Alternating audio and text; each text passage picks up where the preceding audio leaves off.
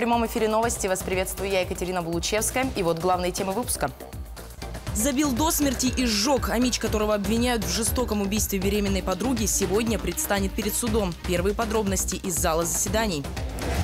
Сухарь грубится и три гола. Авангард уверенно обыграл «Металлург» и повел в серии. Покажем самые яркие моменты матча. Банкиры, продавцы, а теперь еще и исследователи, телефонные мошенники придумали новую схему развода. Как не стать жертвой обмана? Большая вода на подходе. В Омске начал активно таять снег, а реки уже готовятся к вскрытию, когда лед тронется. И невозможное возможно. Все мы столкнулись с какими-то трудностями, сложностями. В Омске прошла премьера первого в мире мюзикла на колясках.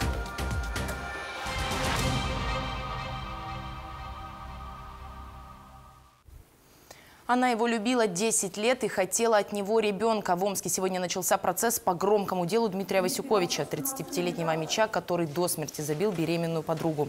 Трагедия произошла в июле прошлого года в доме на 28-й Северной. По версии следствия, обвиняемый приехал к девушке для выяснения отношений. Она, к слову, была на девятом месяце беременности и собиралась подать на алименты. Металлической трубой он нанес несколько ударов, девушка скончалась. Тело и мебель в квартире подозреваемый облил бензином и поджег. Соседи вызвали полицию и пожарных. После совершенного убийства подсудимый, используя полотенце, попытался э, избавиться от своих отпечатков пальцев на включателях, значит, на кружках и на, другом, на других объектах в квартире. После преступления свою одежду он выбросил. Кроме того, также с места совершенного преступления он Э, забрал два сотовых телефона, принадлежащих убитой, которые также он в последующем выбросил. Избавиться от всех улик ему не удалось. Эксперты обнаружили на обуви и автомобиле следы крови погибшей. На заседании свою вину подозреваемый признал лишь частично. Заявил, что напал на Мичку в состоянии аффекта. Разозлился, когда она начала его оскорблять. Сегодня на заседании подруга жертвы рассказала, что погибшая была знакома с Васюковичем со студенческих лет. Подсудимый предлагал ей сделать аборт и заявлял, что она ломает ему жизнь. А мать потерпевшей считает, что мужчина шел убивать ее дочь целенаправленно. Подозреваемому грозит до 25 лет тюрьмы. В суде сейчас работает наша съемочная группа. Все подробности расскажем в следующих выпусках новостей. Победили и повели в серии. Омский авангард на выезде обыграл Магнитогорский металлург. Состав соперника на эту игру усилился опытным защитником Егором Яковлевым, а место в рамке занял финский голкипер Юхо Олкинуора. Но оставить свои ворота в неприкосновенности уральцам удалось лишь до середины первого периода. На 12-й минуте с передач Ковальчука и Комарова счет открыл Денис Зернов. Это его первая шайба в плей-офф. При счете 1-0 команды ушли на перерыв, а в начале второй 20-минутки ястребы устроили настоящий штурм штурм ворот соперника, но раз за разом подводила реализация. На 49-й минуте «Авангард» все же удвоил преимущество. Ридбуше настырно сыграл на пятачке и продлил свою результативную серию до 12 матчей к ряду. А шайба Егора Чинахова в пустые ворота ознаменовала итоговый счет 3-0 в пользу ястребов. Следующий матч серии уже завтра. Смотрите прямую трансляцию на 12 канале в 19.45 по омскому времени. А сегодня в Омск прилетел топ-менеджер «Авангарда» Александр Крылов. У председателя Совета директоров большие планы. Сначала он посетит поселок Горячий Ключ, где уже вовсю идет производство трибун для будущего Ледового дворца. Побывает и на стройплощадке арены. Здесь специалисты продолжают монтировать арматурный каркас. Сейчас на Ледовое поле можно посмотреть уже с уровня третьего этажа. Также идет бетонирование колонн и стен. Обо всем подробно уже в следующих выпусках новостей расскажет Петр Смольников. А в конце дня Александр Крылов приедет выйдет на 12 канал и станет гостем программы «Большая тройка». Ведущие поговорят с топ-менеджером и о позиции ястребов в плей-офф, и об арене, да и в целом о развитии омского хоккея. Прямой эфир начнется в 20 часов. Смотрите на ТВ и в приложении. Трансляция также будет доступна и в наших социальных сетях. Не пропустите. Как лед на голову на 11-летнего ребенка с крыши дома в Омске упала наледь. Произошло все на улице 4 поселковой в городке Нефтяников. Мальчика пришлось госпитализировать, у него сотрясение мозга. Прокуратура и Следственный комитет уже ведут проверку. Известно, что крышу чистили месяц назад. Напомню, несколько недель назад аналогичный случай произошел и на улице Герцена. Лед и снег упали с крыши торгового комплекса. Пострадали восьмилетняя девочка и ее мать. Обеим потребовалась помощь врачей. Компания, которая обслуживала здание, грозит штраф от 10 до 20 тысяч рублей. Полмиллиарда рублей на благоустройство парков, дворов и скверов. Стало известно, какую сумму выделят в регионе по нацпроекту формирования комфортной городской среды. Из федерального бюджета поступит 505 миллионов рублей, еще 57 добавят из областной казны. На эти деньги в регионе приведут в порядок 100 общественных территорий и 25 дворов. Напомню, голосование за благоустройство на 2022 стартует 26 апреля. Амичи смогут выбрать дизайн проекта не только городских пространств, но и областных в Василькульском, Калачинском и Тарском районах. Голосование будет открыто на сайте, который представлен на ваших экранах. Продлится оно до 30 мая. Подрывают доверие и выманивают деньги. Телефонные мошенники добрались и до Следственного комитета. Псевдосотрудники звонят с реально существующего телефона доверия ведомства и убеждают мечей перечислить деньги на спецсчет, якобы для выявления преступников. По их схеме, как только человек совершает операцию, правоохранители моментально вычисляют мошенников, которые снимают деньги. Естественно, звонящие обещают вернуть все средства. Следственный комитет обращает внимание, что реальный телефон доверия работает только на входящие вызовы. Псевдоследователи прикрываются им лишь для придания правдоподобности своим историям. Ни в коем случае нельзя вестись на поводу и перечислять деньги. Следует сразу сообщить об этом в полицию. Их называют предсказателями погоды. Они уж точно знают, когда взять с собой в дорогу зонт или утеплиться. Сегодня профессиональный праздник отмечают российские синоптики. К тому же ежегодно 23 марта под эгидой ООН проводится Всемирный день метеорологии. Накануне праздника климатическими новостями поделилась и главный метеоролог Омска Наталья Криворучка. Она отметила, что в прошлом году синоптикам удалось на 100% предсказать все опасные погодные явления. А еще метеоролог рассказала о приближающемся паводке. Регион ждут ждут многочисленные подтопления. Снега этой зимой выпало в два, а местами в три раза больше нормы.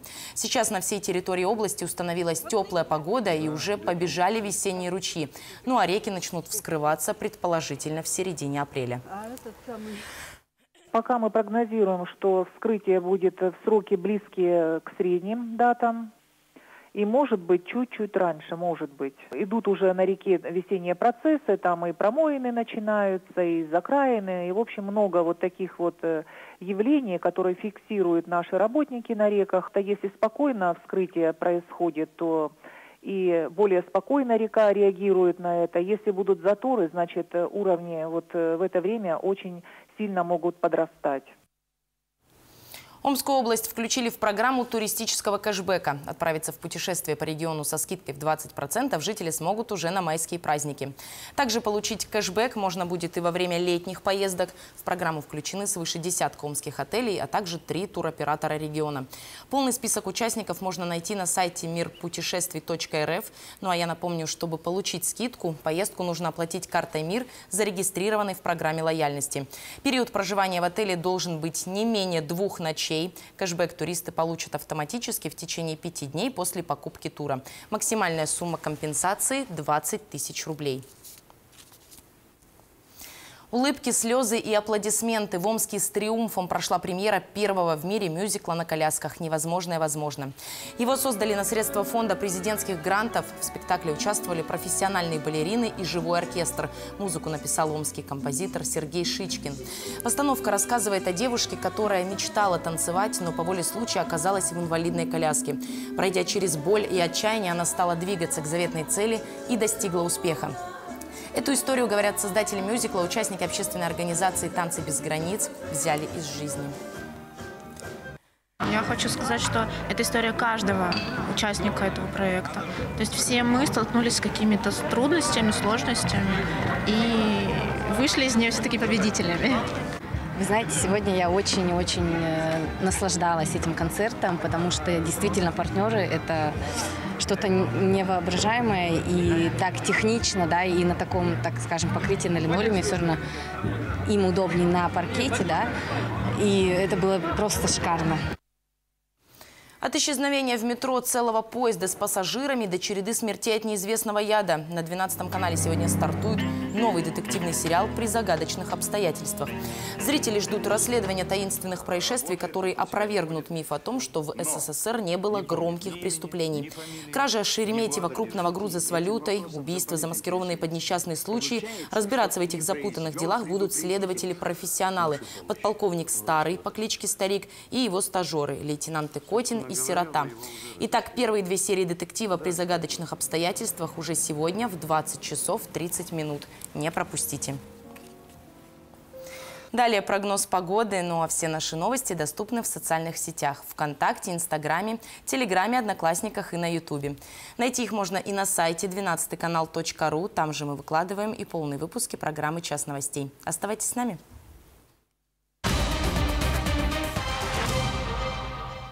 С 20 по 28 марта. Новая ювелирная выставка от ведущих российских производителей. Цены снижены. Выставка «Магия самоцветов» в Доме художника.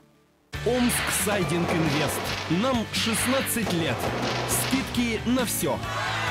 Телефон 999 222. Высокоскоростной интернет стал еще доступнее. Компания «Ростелеком» установила новую вышку связи в деревне Редкая Называевского района.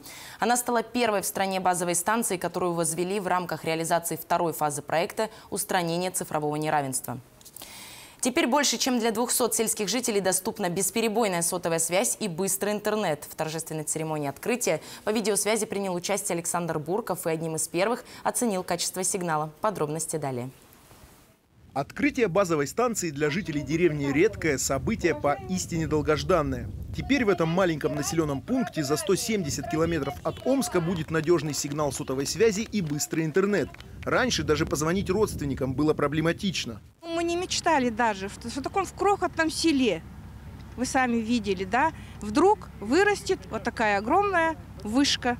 И, наконец, закончатся все проблемы, и будет э, хороший интернет скоростной и хорошая сотовая качественная связь. Мы, конечно, очень довольны и очень рады. По видеосвязи в церемонии открытия принял участие губернатор Александр Бурков и вице-президент, директор макрорегиона Сибирь компании Ростелеком Николай Зенин. Глава региона поздравил местных жителей и отметил важную роль провайдера в процессе цифровизации, который сейчас активно идет в Омской области. Например, эта базовая станция стала первой в стране, которую возвели в рамках второй фазы проекта устранения цифрового неравенства. Хотелось бы отметить, что именно в редком компания Ростелеком взяла на себя всю финансовую, организационную работу. И сделала вот такой большой подарок жителям села Редкая. Зона покрытия вышки около 6 километров, а пользоваться услугами связи смогут больше 200 местных жителей из двух деревень. Специалисты Ростелекома отмечают, проблем с сигналом не будет. Самое современное оборудование обеспечит высокую скорость и надежный сигнал. Данная базовая станция позволит э, предоставлять услуги мобильного интернета в районе скорости 40-50 мегабит, что позволит э, обеспечить э, хорошее обучение в режиме онлайн, просмотр э, различного видеоконтента. Впереди у компании Ростелеком и правительства региона масштабные планы.